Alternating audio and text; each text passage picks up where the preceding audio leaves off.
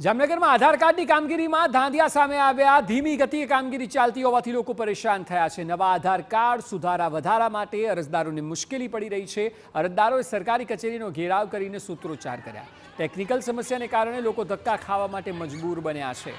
સ્થાનિકોએ સુવિધા વધારવા માટેની માંગ કરી છે.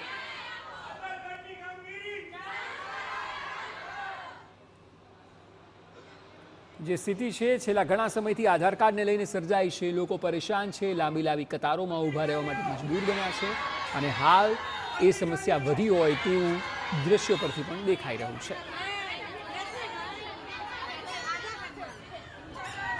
મામલતદાર કચેરી સિવાય મહાનગરપાલિકા હસ્તકની, શિક્ષણ વિભાગ હસ્તકની બેંકની બેંકોની પણ ફાળવેલી કીટો છે. એટલે આશરે પંદર વીસ કીટો જામનગર શહેરમાં કાર્યરત છે. એટલે આ એક કીટ બંધ થવાથી અન્ય કોઈ પણ જે ચાલુ જગ્યા હોય જ્યાં ચાલુ અત્યારે આધાર કાર્ડની કામગીરી ચાલુ હોય, ત્યાં જઈ શકાય છે. લાલ બંગલોમાં અને જુદી જુદી બેંકોમાં કીટ ચાલુ જ છે. આ આધાર કાર્ડની કામગીરી સદંતર નિષ્ફળ ગઈ છે. અહીંયા અમુક એજન્સી દ્વારા ટોકન આપવામાં આવે છે ક્યાંક ત્રીસ આપે ક્યાંક પચાસ ટકા ટોકન આપે છે. એક વ્યક્તિ કે બાળક કે ભાઈ બહેન હોય એ આઠ દિવસ, પંદર દિવસ સુધી સવારે પાંચ પાંચ વાગે પણ સેન્ટર પર આવી જાય છે.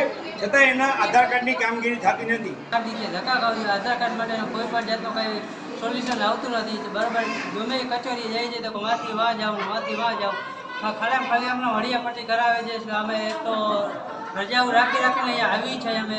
એ એ બાબતનો અમને કાંઈ પણ જાતનો ન્યાય નથી મળી રહ્યો. તમે જાવું તો જાવું કઈ જગ્યાએ. અને આ બાબતનો ન્યાય કઈ જગ્યાએ મળશે? એ બાબતનો અમારે જે ન્યાય જોઈએ છે.